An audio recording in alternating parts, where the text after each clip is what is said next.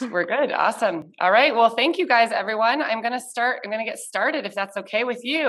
Um, and welcome to everyone who's you know here, and also those of you that are watching this recorded. My name is Megan McNamee. I'm a registered dietitian nutritionist um, and co-owner of Feeding Littles, and we're here obviously. Well, we're here with Judy, who just came on. This is Judy Delaware. You want to say hi, Judy? Hey everybody, I'm Judy. I'm here in Colorado. Do you want me to tell you about myself? I don't know what how far you guys got already. Well, let me talk about. We haven't really done anything yet, so let me just. Um, I want to introduce Evelyn, obviously the star of the hour today, um, and then we'll probably we'll talk just briefly about the connection here because a lot of you guys came over or came to this event because of Evelyn and knowing about intuitive eating, and probably are wondering who in the world we are and why why we're connected to this. Um, so I just wanted to mention, kind of, or, or, or, introduce you to Evelyn for those of you that actually might not know her very well. This is Evelyn Tribole. She is a registered dietitian. I actually did not know all of the, the accolades she has on her bio until I read it. Um, I met Evelyn about 15 years ago when I was like 12. No, I was a little bit older. um, so I was only the author of 10 different books, um, including the best-selling Intuitive Eating, which um, many of you guys have probably read.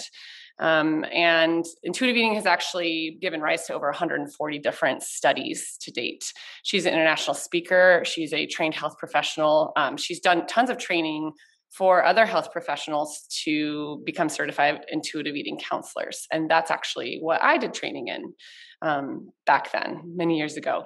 Um, you also might see Evelyn busy in the media. She has been featured in the New York Times, CNN, NBC's Today Show. She's been on the um, Good Morning America as their nutrition expert for many years. Evelyn, your bio is so long. I'm just oh, don't even don't even worry about getting through summarize. She's amazing. is what we're trying to say. She's amazing. Um, and just from a for so many of us on this call, I know are dietitians or have worked kind of in the nutrition sphere, and she's she has completely changed our lives and how we practice. Um, but I just need to share this with you because this is so fascinating to me. She qualified for the Olympic trials in the first ever women's marathon in 1984. I, I don't know how that's amazing. Many of us hate running, so good for you, Evelyn. Um, and although she no longer competes, she is a wicked ping pong player, avid hiker. And Evelyn, tell them what you're now starting to well, my new passion is is surfing. yeah. I'm wobbly, but it gives me great joy. Great joy. Yeah. Okay, so I think she could kick our butts. That's the moral of the story. Um, which is wonderful to see the the joy that you get out of movement and exercise. We were kind of talking about that earlier. Um, so Evelyn has a new book that we're going to kind of share with you and ask a whole bunch of questions about. And if you're wondering who in the world we are, um, Judy and I are co-owners of a company called Feeding Littles, and we actually met about six years ago, seven years ago now, and um, we help parents with kids, with babies and toddlers, feel confident in feeding their kids. Um, there's kind of a thread of intuitive eating woven throughout, and as I was trained, you know, in intuitive eating many years ago, it totally reshifted my practice. And when we started working with um, babies and toddlers in that age group, we realized how critical it really is to um, kind of start the intuitive eating process from the beginning because it's really a life cycle thing. And the most intuitive eaters are children. They are born with these innate abilities to um, know when they're hungry and full and what their bodies need. And so it's such an honor to be able to share intuitive eating with a wider audience via Feeding Littles um, from the start. And what so many of our families have realized is that they have some of you know food issues themselves, and they are healing through kind of um, breaking those those generational um, cycles and helping their kids. They're healing themselves. So um, it's very, very cool for us to be here. Uh, Judy, do you want to explain a little bit about what you do in case they're sure, of course, curious yes. what a feeding therapist is? Yeah, so um, I'm Judy Delaware. I'm here in Colorado, and I'm an occupational therapist, and I specialize in pediatrics with children that have um, what we call sensory processing disorder or issues. Um, I have a small private practice and work with feeding with kids, mostly the ages zero to three. So, the irony in all of this is I help kids learn to love food and learn to eat and gain weight. So, um, and we really talk about all about how important important it is to listen to your body. So I always use and reference like the movie uh, Inside Out, which is that mm. Pixar mm. movie, and it really talks about all that interoception that kids learn about, like paying attention to their little signals. So I am so excited to be here. Thank you for the invitation. Wonderful. Well, we told Evelyn that, I mean, we're learning a little bit about her already, but we told her we had a few icebreaker questions for her. They're not scary, but we just have a few like rapid fire. You ready? Yeah, ready. Okay, what's your favorite food? Oh my God, chocolate. what's your favorite drink? oh, I'd have to say coffee in the morning. Oh, well, segue to the next question. How do you yeah. take your coffee? Milk i can't drink it without milk actually i've tried and i just don't care for it i was that's how i was raised so just yeah. plain just milk just milk and it needs to be heated up i started doing that after i went to brazil and they served your coffee with heated milk they have a pitcher of heated milk and a pitcher of coffee and it's like oh this is too good we're like we're like soul sisters. So far, all of our answers are the same. Do you have any pets, and if so, what are their names? And um, if you don't have any pets, what what would you have if you could? Well, I had a beloved pet, Johnny. He was a little sheep sheepoo. He looked like a little uh, fluffy sheepdog. And if I could right now, I would have a dog. However, I am pent up and dying to travel. So I have to get that out of my system before I have another pet. But I do love dogs very much. Yeah. Are there any animals that you're afraid of? Oh my God, I never thought about that for. Hmm. Not that I can think of. Judy and I both at the same time for us said snakes. Snakes. you know what? I hike a lot. And so you just learn to respect snakes. You know, you wait for them to cross the trail. Sometimes that takes a while. So, yeah. Well, yeah. hey, we're going to have to start sending you scary animal pictures and see if anything freaks you out. okay. Uh, you already told us, but what are your favorite hobbies? Oh my gosh. Well, I, I love surfing. I love dancing and li- listening to live music, hanging out with friends. So, yeah. Okay, we have t- two more for you. Okay. And favorite embarrassing Netflix or streaming show obsession? Oh my gosh. Good question. I, I can't even think of one right now. Honest to gosh, because I haven't been watching much TV. Maybe okay. that's the embarrassment part. It's been a okay. while. okay. All right, that's fair. All right, pass on that one. Okay, and the last question is: We know you have grandkids, so what are your what are your two favorite books you absolutely love reading to your grandkids? Oh my God, I've got it right here the belly button book. oh, of course.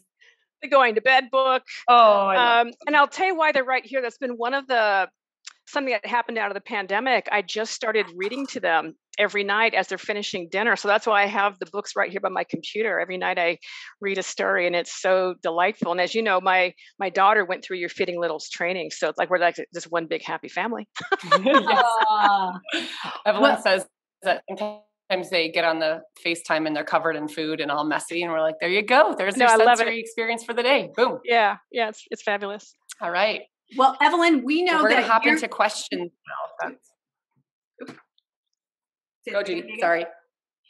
Um, we know that you're usually go the one. Go for it. We're Evelyn, we know that you're the one who usually asks the questions, but we get to ask you the questions now today. So, yeah. our first big question is Can you define intuitive eating uh, and explain why forming this healthy relationship with your body and food is so important, not just for yourself, but your family? Yeah, you know what? I'm going to back up just a little bit. It's one of the reasons why I wanted to do this together because this idea of dismantling diet culture is so huge but to, to, to boil it down to a, a, power an empowering act that we have agency in our families that we can end the legacy of diet culture at our kitchen tables. You know i just think that's so profound and when i talk to parents it really resonates with them. So when i define intuitive eating i do it many many different ways. Probably the shortest and simplest is it's a self-care eating framework where you're the boss of you period. no one can tell you what to do. You're in charge of your body. And so the cool thing about intuitive eating, when Elyse Resch and I created it over 25 years ago, we can say it was research inspired. It was inspired by the uh, experiences that that we had. But now, fast forward with all the studies that have come out on it, it's just incredibly exciting. And one of the things that's not commonly intuitive eating, but the model was highly influenced by the work of L.L. Birch, who's uh, she's now deceased, but a, a, a leading expert in the child feeding relationship with, with with parents. You know, and I think that's something really hopeful. and as you, as parents, are watching their kids self-regulate, self-trust, I find it can be really, really healing. And so um, to answer your question, why is it so important? It's so that we can be flourishing in our lives and doing the things that are important to us and that we're here and we're present. We're not distracted in the anxiety and the worry about eating in our bodies, you know? I love it. Okay, I am just going to have the chills the entire time that we do this because it's just it's so good to hear you speak about this and also in the framework of kids. Um, yeah. I just I think it is so healing for so many of us. So we talk about diet culture, and I know we've mentioned it before, but could you define what diet culture is and how is it different than intuitive eating? Yeah, you know, so diet culture is really a, a, system of beliefs that we're socialized into where certain bodies are hierarchied or seen as superior than others, where foods are either demonized or, or reified.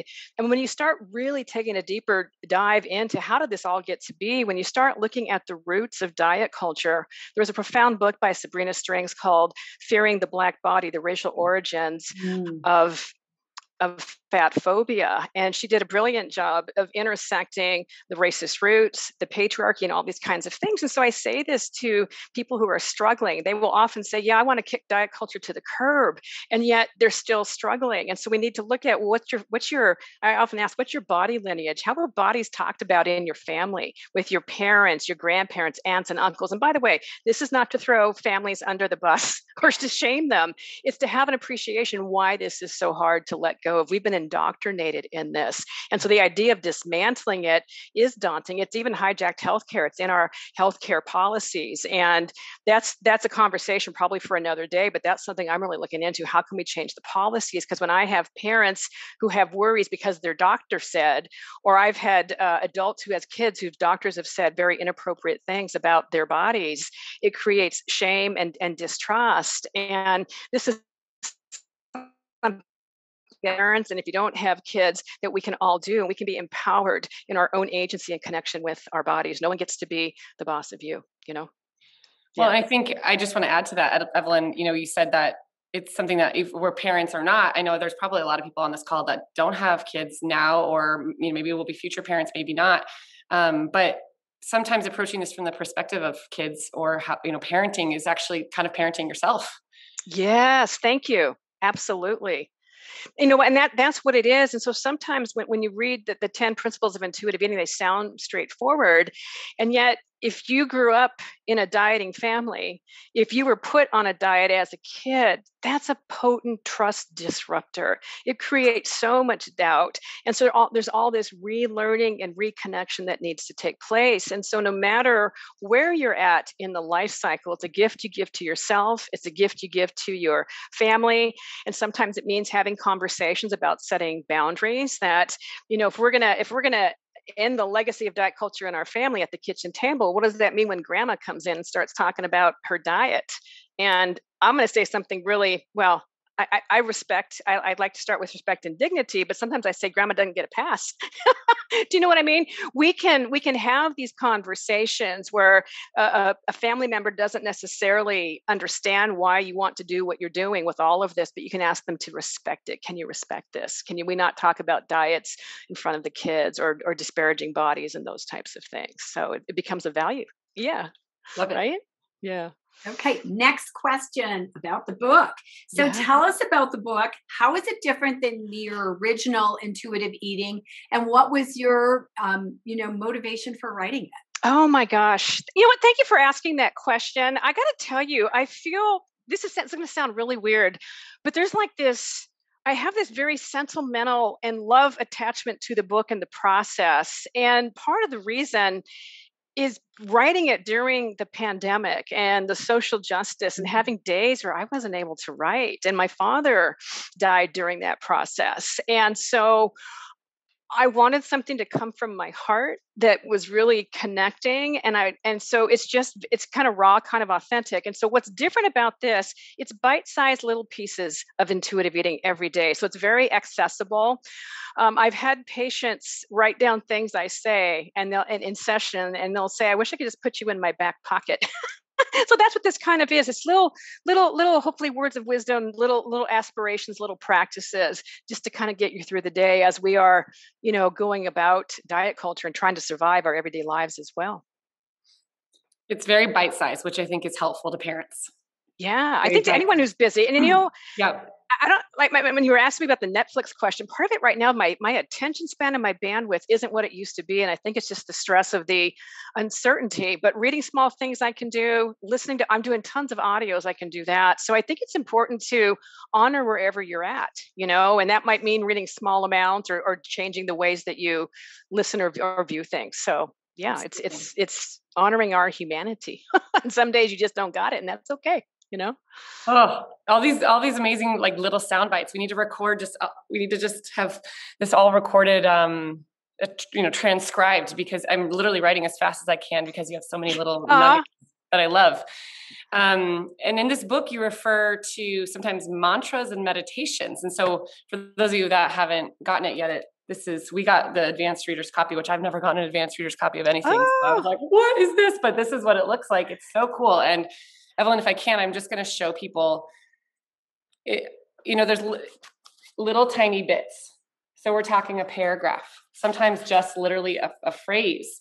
And some of them are referred to as mantras or meditations. And um, if you're new to the world of meditation, or if you don't really do any sort of meditation, you might feel intimidated by this language. I know I struggle with meditation myself, um, and I'm trying to get into it more can you expand on these terms and like how to use this book kind of yeah. that understanding? Yeah and so you know what you're right that when you hear the word meditation it's kind of a big word and what this is, I've had so many patients that would struggle before they sat down to eat. The anxiety would be high, fear would be high. And so, all it really is, is just reading some words of, of aspiration before you sit down, whether it's gratitude about the body, whether it's gratitude about the food that you're about to eat, whether it's connecting to how the food even got onto the table. So, it's not really sitting down and, and meditating in, in the classic way, but it's more of kind of getting grounded in in the process just by reading these short little phrases. And the mantras are just basically pithy statements just to remind you, you know, you know, intuitive eaters are the experts of their own body. There is no pass or fail. There's only learning and discovery. Things like that, just to remind you, like, oh yeah, oh yeah, oh yeah. you know? So, so you, yeah. You a little follow-up question to that. You gave us a few of them right now, but what is your favorite one? Like short one. Oh my God. You know what? I think probably one of them, I don't have them memorized, but something to the idea that no one can be the expert of you. You know, only you mm-hmm know what satisfaction feels like. Only you know your thoughts, your feelings, your experiences, and so on. So, and so what I would say to anyone who, to people are reading this book, because you all are in attendance here because you got the book, is I would say whatever resonates with you that feels right, use that. And it doesn't even have to be from the mantras. It can just be from something that you read in, in, in the book. There's a phrase that, oh, I like that. Then, then use that one. Or like all bodies are deserving of dignity and respect. I use that one a lot. I feel so sincere about that. It's missing in, in our culture. And first we can start it with, with ourselves and then we can spread it to others, right? Yes. Beautiful. Yeah. Okay, the next one, next question is a little bit deeper here. So many okay. of us grew up in diet culture. Yeah. And we watched our parents struggle with foods in their bodies. Some of us, even on this call, um, have had eating disorders. Mm. One of the most common fears eh, our, our clients share is that they're terrified about passing on their eating issues to that next generation. Uh, what advice do you have for parents who hold this fear? You know what? That's such a great question. I get that one a lot. And I think that's how I ended up developing this aspiration of ending the legacy of diet culture in your family, because I've seen that be really meaningful. Eh, you know, it's often taught that when you're setting goals or aspirations for yourself, it has to be just about you. And I have found that when it's about your family or about your kids, there's something deeply meaningful about that. And so the, the answer is, is it's possible. We also have to recognize with eating disorders specifically, there's a genetic component to that, you know. And so what we can do is we can create the conditions that hopefully this won't won't arise. Because I, I, would one of the things that really just gets me is when sh- parents have so much shame about their parenting. And parenting is hard. I think it's one of the most humbling things you can ever do. And you do the best you can. And when you find out that what you're doing isn't so helpful, okay, you learn better, do better. Those those types of things. And that's why this idea of the kitchen table sanctuary in your family is, is so important that just this idea, all bodies are deserving of dignity and respect, including the foods that we put in them. We don't comment on bodies, we don't comment about eating. We enjoy eating, we connect through eating. Eating is a privilege so those are some some ways that I would I would look at this. You know. That's wonderful. Thanks. Yeah, it's a healing. Yeah. Furiously writing this down, Evelyn. Thank you. Um, yeah. I think that is that is. Um, I think those of us who are who have had you know disordered eating or kind of this cycle so ingrained in us that is kind of our biggest goal and i have to tell you a uh, fear of mine when i found out i was having a, two girls i have two girls that is the first thing i thought of I didn't ah. want to have girls because I was terrified I would pass on my eating issues mm, to them. Mm. mm. Isn't that like the, that's the first thing that came to my mind? Well, you know, it's it's the culture that we're living in. So I would say it's it's understandable. I have also worked with patients struggling with eating disorders who have fears of becoming pregnant because of all what that means in terms of the cultural expectations and, and, and entitlement. But with awareness, we can make meaningful change, you know, and so that we can say, how can I do this differently? you know and it's possible to do things differently and you know one of the things i don't recall if i self-disclosed this in the book but i grew up with a dieting mom and I will never forget. I was really lucky she didn't project it onto us, but boy, I knew her goal weight and the foods that she could eat. And so imagine fast forward at the age of 64, she gets official diagnosis of ovarian cancer, which is a terminal diagnosis from when she got it. And she stood up, surveyed her body, and said to me, is one of the biggest regrets she's ever had that all the time she wasted dieting. She just wanted to grow old you know and i can talk about it now because it's been it's been since 2007 when she when she died but it, it's something that that chokes me up when i start thinking about it. And you know intuitive eating had already been you know published in 1995 but it just gives me this this deeper passion that this is unnecessary suffering. We deserve to flourish and to live and to connect and whatever goods you want to be doing in the world to have the energy to doing those things that fill you up as opposed to you know figuring out how to how to shrink your body. And then when you start looking at the body of research on how it doesn't work and causes harm that's what really gets me causes harm. Uh, that's one of the reasons why we want to stop that that legacy and protect our, our kids and our families to the degree that we can you know? Thank you. I'm yeah. trying to not get emotional about it just hearing you talk. Um, some of we kind of already alluded to this but i'm wondering if we can give some tangible some, some more tangible um, options for for those that are caregivers parents or even just around younger people here.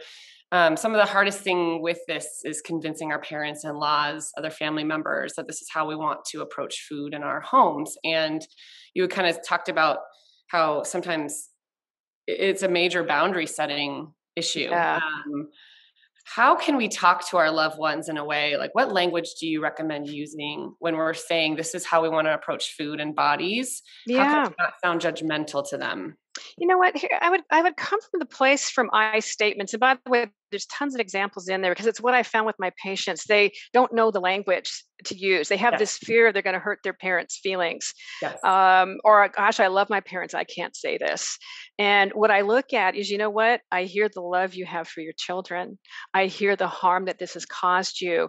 And this is about protecting yourself. And so, one of the techniques I, I, suggest is having a proactive conversation, not when someone just made a comment and you're all like eh, worked up, but saying something like, you know, especially if you've had your own struggles with dieting or, or an eating mm-hmm. disorder, like, hey, mom, you know, I, I love how much you've supported me, and you fill in the blank with whatever that support is. It's true, only true stuff. I want to be authentic. But you know, I've really struggled. I don't want to pass this struggle on to my kids, and I'd really like you to help me. I'd like your support. Can you support me? And when they say yes, usually it's not always, but usually when they say yes, here's what the support would look like. I would love for you to not make any comments about your body, my body, the kids' bodies, celebrities' bodies, anyone's bodies. I would love it if you don't make any comments around eating and judging it good, bad, calories, macros. Is that something you'd be willing to do? I find in the majority of cases, but not always, the answer is yes. And this is the one of the most important parts. It's not just setting this loving boundary. It's it's also saying what you're going to do to maintain it, and that is oh thank oh my God thank you so much this means so much to me. Um, and if you if you forget, how can I politely remind you? And one of the things I suggest, it's so easy because it's in our own languaging of everyday body language. It might be something like, what if I say, oh, oh, oh, oh we're not going to go there, remember? Oh, remember, we're not going to go there. And it's like, oh, yeah, yeah, my bad, my bad. And so in a way, I likened it to like when we're training our, our puppies, you know, we, we expect them to make mistakes. If parents have been in the habit of making all these comments, they're going to mess up. And we can just remind them and they can go, ah. And if we do this in this conversation, it doesn't become a big deal. It doesn't become a big deal. So that's the way. And so it's having the conversation of setting the loving boundaries and consistently reinforcing it. Mm-hmm. Reinforce and including you don't it's okay if you don't agree with me. I'm just asking you to respect it. It's how I want to raise my family. Just that's like that. It's so powerful. Isn't it? Oh so my God, I got I'm giving myself chills. That happens sometimes. I love, I love when you can give yourself chills. That's great. well, it's it, it happens when I when something is very meaningful and deep to me. Do you know? It's just it. Here's the other thing I've seen so many times in my sessions. I will ask, "Does your grandparents or do your parents know how this impacts you? How this makes you feel?" No. And so I say, you know, if they have no idea, then how do you expect them to change? how about giving them the opportunity? They can say no, they have that option. And then we talk to boundary setting number two, and that is what you're going to do if they, they choose not to. You're going to leave the conversation, you're going to leave the table with no drama.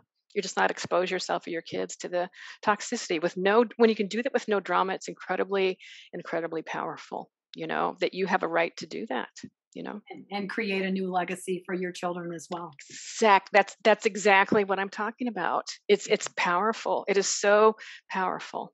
And our to- our culture right now is so so toxic. We have enough to worry about. We don't need to be having this right exactly yeah yeah next question okay part of intuitive eating is all about uh, normalizing body diversity Can yeah tell us what that means why it's so important. Yeah, you know, that, that bodies come in all different shapes and sizes. They've existed in all shapes and sizes. When you look at all these archaeological digs of statues and things coming out, and the moment we start pathologizing bodies, we're saying to that person, you are wrong. Your body is wrong. And I'll tell you, it breaks my heart. Some of the stories I, have heard from families and, and, and or adults who were as kids. And so one of the analogies I like to use is is puppies. You know, there's a really funny dog I watch on TikTok. I forget the name, but it's an Italian greyhound that's into fashion and it's teeny, but that's their genetic disposition versus some of these big dogs I see I really do love dogs. you know, some of these bulldogs I follow, they're massive. That's that's what their bodies are. Bodies come in different size and shapes. Just like that. No no right or wrong. And that we that we regard our humanity we have unconditional regard for our humanity you know yeah that's great did Megan freeze? Megan, are you? she did. That's why the look on her face hasn't changed. I know. I'm looking at Megan's face. We don't know what just happened. Okay. You know what, Megan? I, okay. Oh. Oh, she's gonna come back in. So she, it's you in. and me. Okay. Well, you know what? I'm gonna jump. Oh, Megan, can you hear us? Oh, she's back. Oh, she, she's muted. How about how about while we're getting her her back well, on? She's in. I, I did want to ask another. Sorry, I don't yeah. know. All of a sudden, my Zoom thing just came on. Like you're done. Um, I stunned her. It's like, oh my god! I was like, I need to. I know. I, I kept looking at your face, going, "Are you okay?" I'm listening very oh, closely. Yeah. Um, I can I ask a follow up question to that? Of course. The the every time we talk about this in feeding littles, we always get the but health. Yes. Oh, thank you for asking that question. I even have a slide in one of the when I train health professionals that I can go through all the data and that question will still happen. So there's a big big body of research that shows contrary to popular opinion, popular belief that size and health are not the same thing. And then when we talk about health, we have to remember our mental health. I'll tell you something really sad as an example. A study just came out of, of the UK looking at 22,000 teenagers over a 30 year period. And what they found the teenagers are dieting more and it's linking up with depression. The problem and the challenge with all these studies that come out linking body size and health is they're mainly they're association studies which is not causation and they don't include really important things like social determinants of health like where you live race access to grocery stores. They don't include trauma childhood trauma. ACEs are really profound eh, uh, with linking with with chronic diseases and and so on.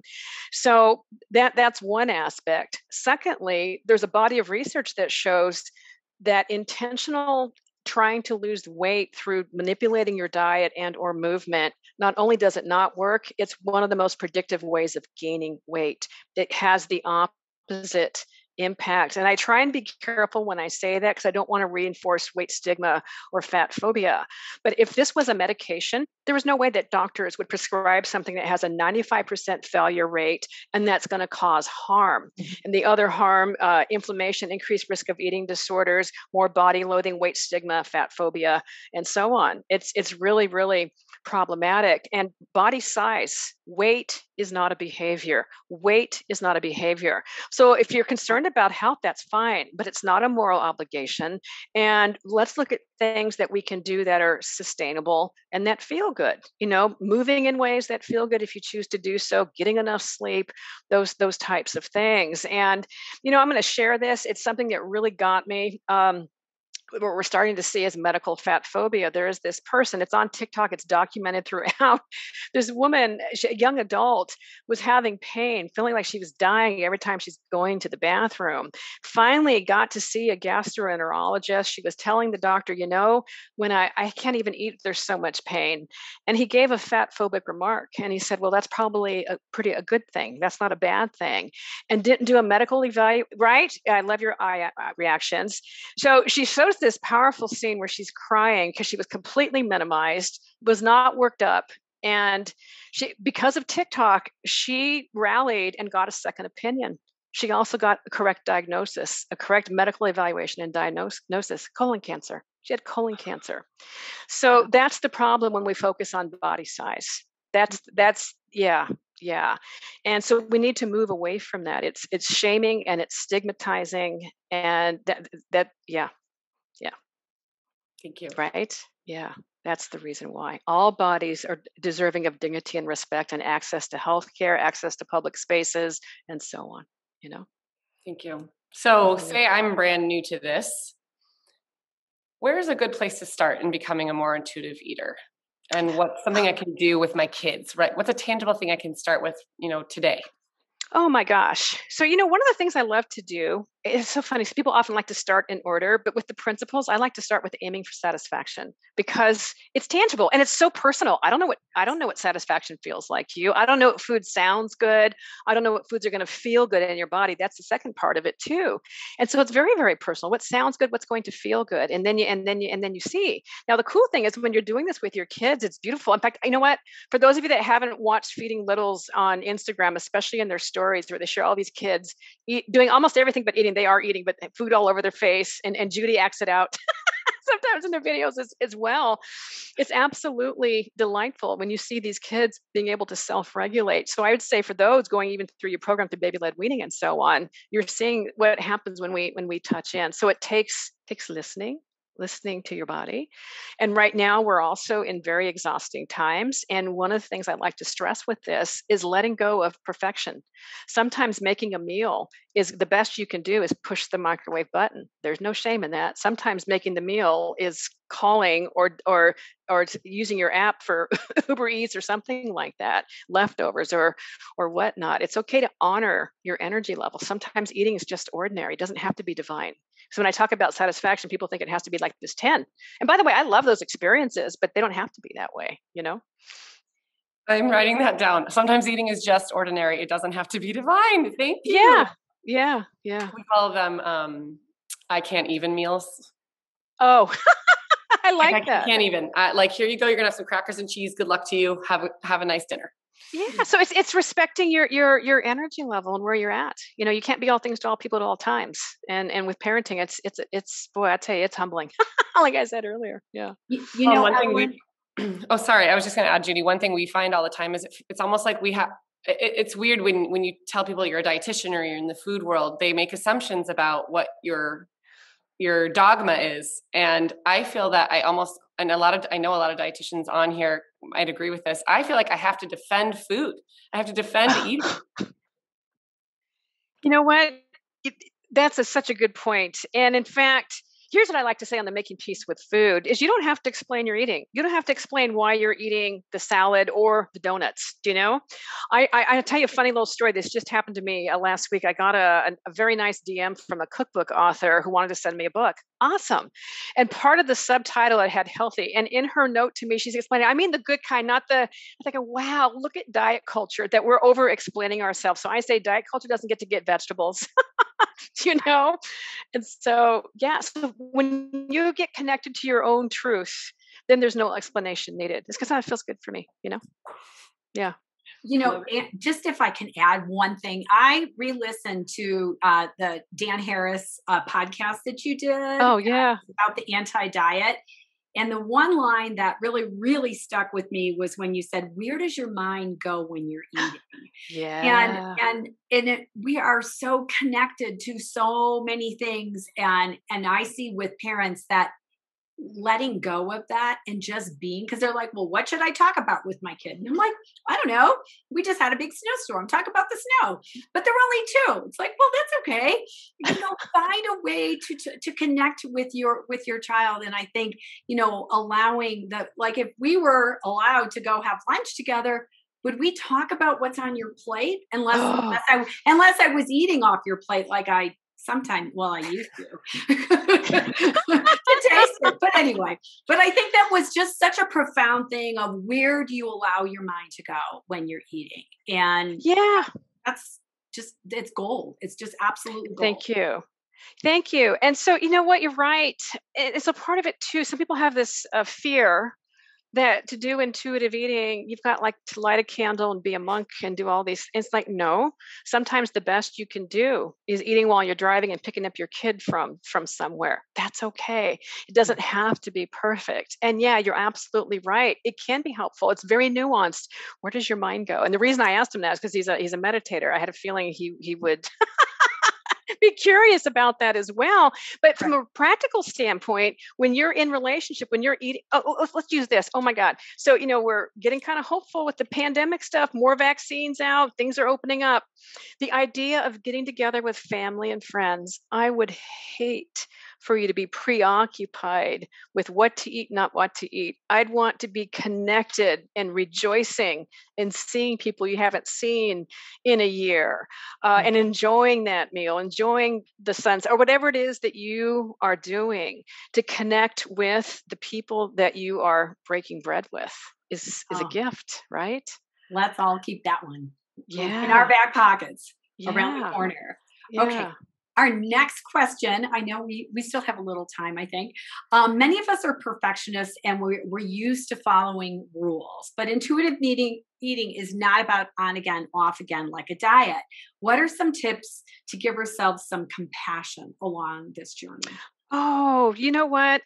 That is such a good question and it's one of the biggest obstacles I find, you know. So, what happens when people are used to following the rules of diet culture and outsourcing your eating decisions to some influencer, some diet book, you do it at the expense of self connection.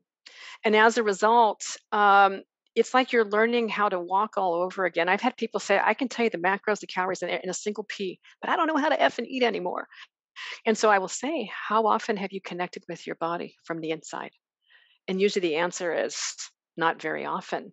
And I'll say, well, just like when your kid is learning how to walk, they're going to fall, they're going to bumble around, and we don't say, You idiot, get up.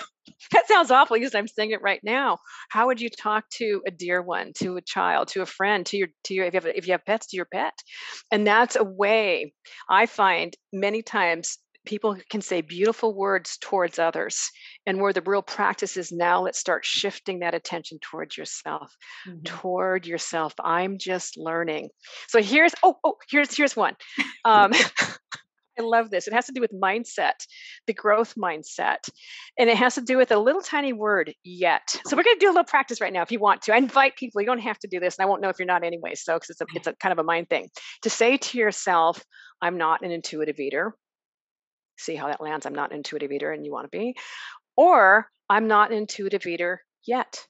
I'm not an intuitive eater yet. See the difference in that? So whatever it is that you're you're frustrated about, maybe you're not connecting so much with your body.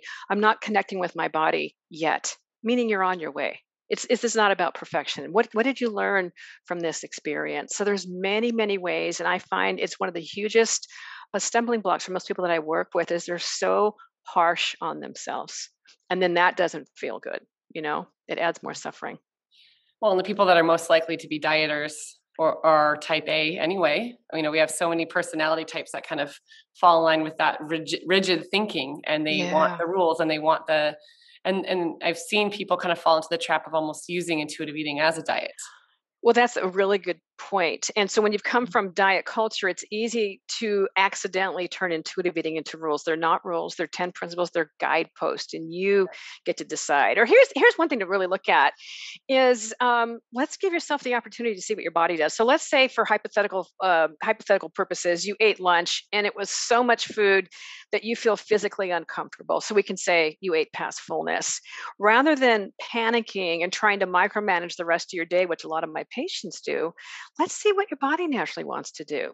Do you get did you get hungry in the afternoon like you normally do around four? Maybe when it comes time for dinner uh, your appetite level is going to be different but you rob yourself of watching your body's ability to adjust when you mm. keep rushing in to micromanage the, the panic and then that creates more disruption and trust you know? Right? Yeah. So it's yeah. No i'm it's hard for me to not get like a little teary because I, like I said, this was so life changing for me. And yeah, it because it does, it heals so much for you about yourself and kind of lets you understand the framework for what you grew up in. Yeah. Yeah. And then understanding how we could do it better. It's and it, it doesn't, you know, people I think it's so overwhelmed sometimes with those tips that you gave, you know, just avoid talking about bodies that's one thing yeah. we can do. We can just we can stop talking about bodies other people's bodies. That's one easy thing that parents can do. Yeah and you know as you're saying this what comes up for me too you know because you hear people saying how this is life changing you've said that. And, and i think part of the reason why it is is you're not only healing your relationship with food, mind, and body, but you're cultivating that sense of trust. It grounds you.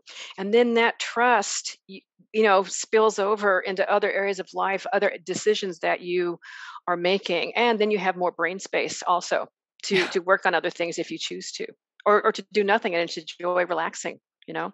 Well, and, and there's a, a, thing that goes around all the on you know social media about you know we want our kids to trust their fullness and hunger yeah. because we want them to know when their body's giving them signals, they listen to those signals. That applies to not just food.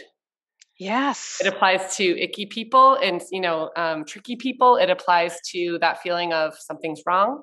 Yes. I know something wrong here, mm-hmm. um, or I you know um, I'm tired. I'm you know all the different signals that our bodies give us. It's, exactly. It's, you're reinforcing that every single day when you're when you have that trust you're reinforcing that and you're getting your agency back. And if we look at dieting or eating disorders as a form of trauma, because on a cellular level, your body thinks, oh my God, she's killing me. He's killing me. You know, I'm not getting enough to eat. And so when you diet, it just creates that. But when we keep remembering our agency, I'm in charge. I got this. I can figure this out. Then that also applies in other areas in life. It's part of the healing. Part of the healing. Yeah. Love it. It's so good. We probably should start asking some or answering some questions. Yes. Oh my gosh. Well, we I don't see a ton of them on the, the chat yet, but we, we didn't invite them yet. Maybe that's yes. why. Yes, we would like to open it up if you have any questions. Is that right, Jen? Is that the best thing to do for them to write it in the chat box or is it yeah the chats um, there's a little q&a function at the bottom but there the okay. chat has been pretty easy to follow so please feel free to submit questions there or you know leave more comments Yeah. Or if it turns out you're speechless, that's okay too. There's no pressure. This is kind of a, a time of celebration and um, we don't have to get down in deep and answer questions if if, if they're not on your mind. I, I would consider, wow, we did a good job. or sometimes this stuff opens things up that are kind of deep that you don't want to discuss. You're just kind of taking that in. So it's it's all good, you know.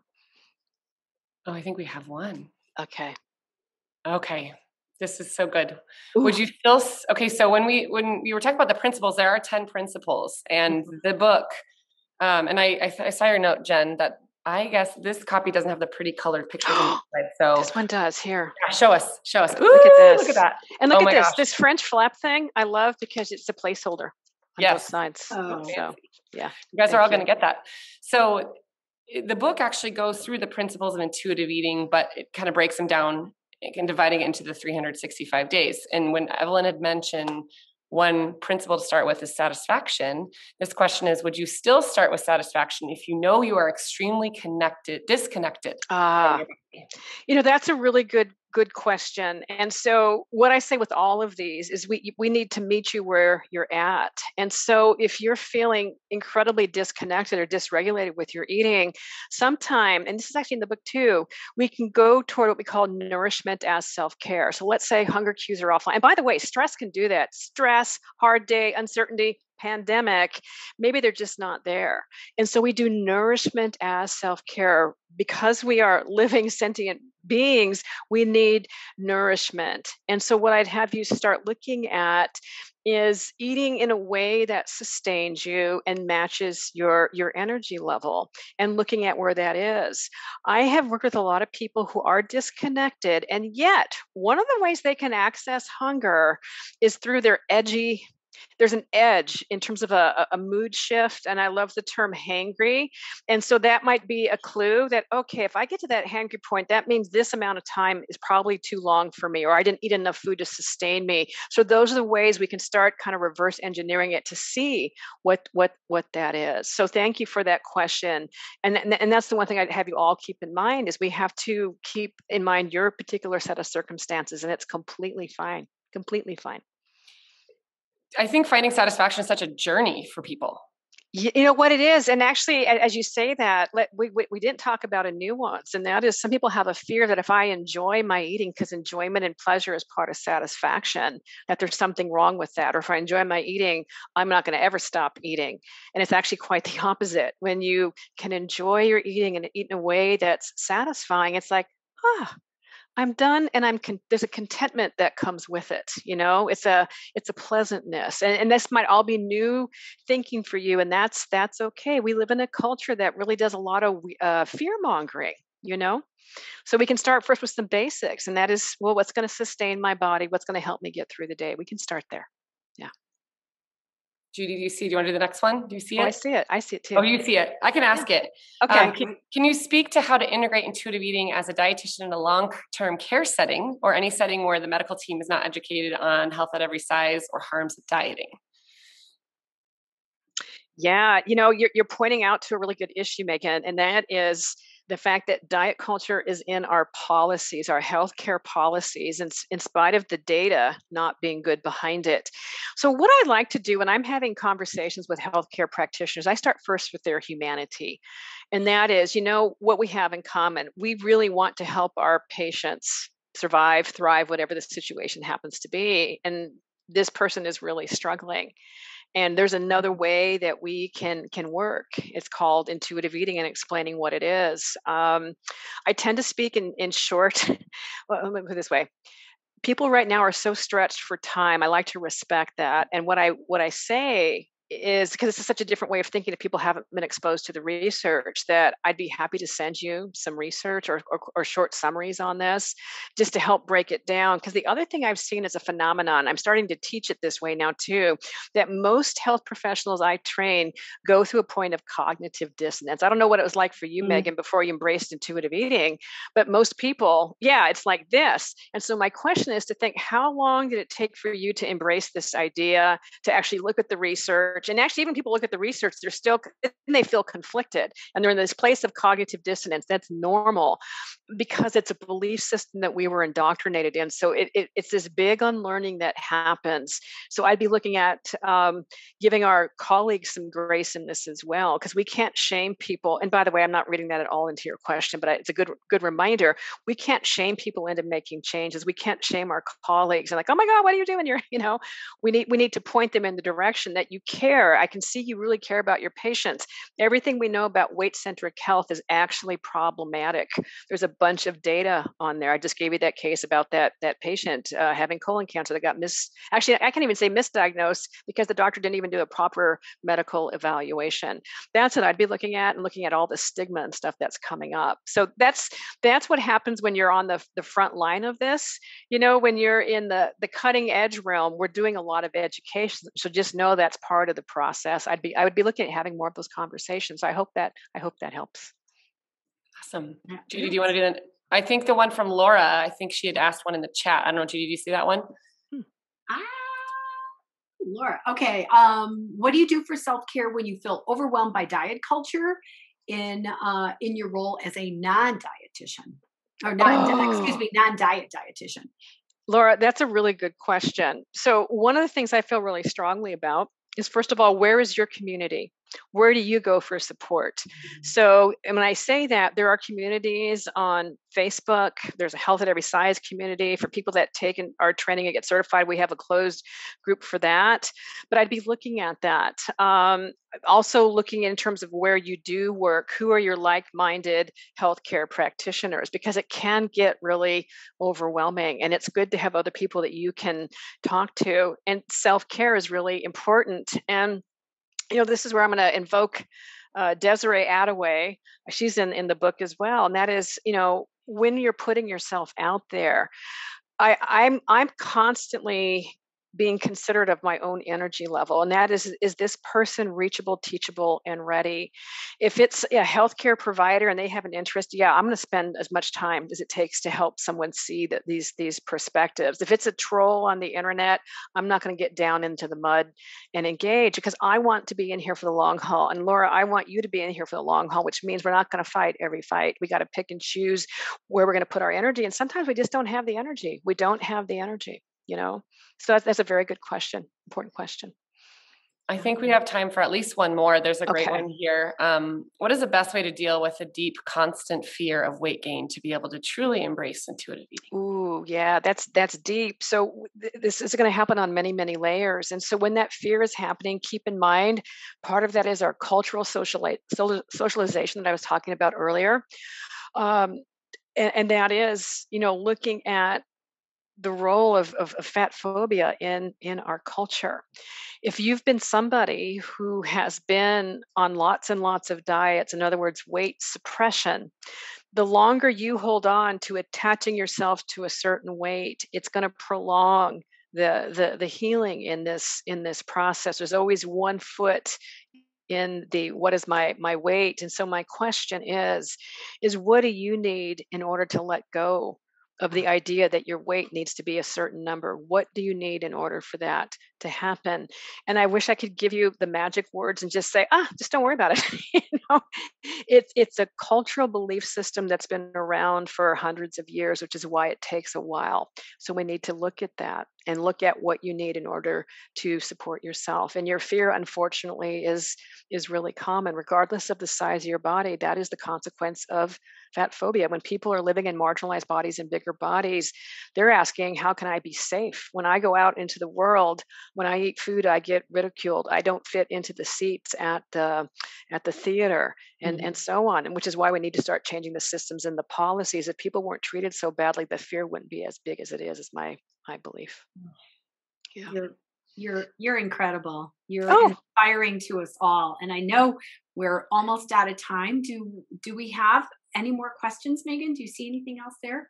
I don't see any other ones. I'm sure that this will kind of inspire some thought for so many of you. Um, so, Evelyn, obviously, there going to be hopefully reading your book. Um, do you, you know, do you want to direct them towards any additional resources? Yeah, you know what? I, I did a, a 10 day series on Instagram that started on January 4th and ran through January 14th of this year, 2021. And there is a whole series, including videos. I've got I've gotten a lot of positive feedback and it's free. So you might want to take a look at that because there's a lot of comments and questions. I, I did a lot of uh, answering of, of, of the comments that are there that might be helpful too. There's our also our intuitive eating online community. It's free. It's peer to peer support. You can access it through the intuitiveeating.org uh, website. So hopefully that that helps. Evelyn, if anybody wasn't able to see this today, how would they be able to see this recording? They're going to get it emailed for those who have filled out the form. They're going to get a link to the recording. And if they didn't fill out an email, is there any way to get it? Um, I Jen would have to answer that question. Jen is from my from my publisher from Chronicle Prism. I don't know if she's on right now to answer that question. I, I feel a, like that's actually a good question because to get this out more to more people to view it, right? Right. You know what? Here's what I'm going to do on my end. I'm going to have a conversation with my publisher and see if maybe we can just release it for the for the public. You know. We'd be amenable. I feel like the voice of the wizard without my video on talking, but yes, we can we can work on making it available wider.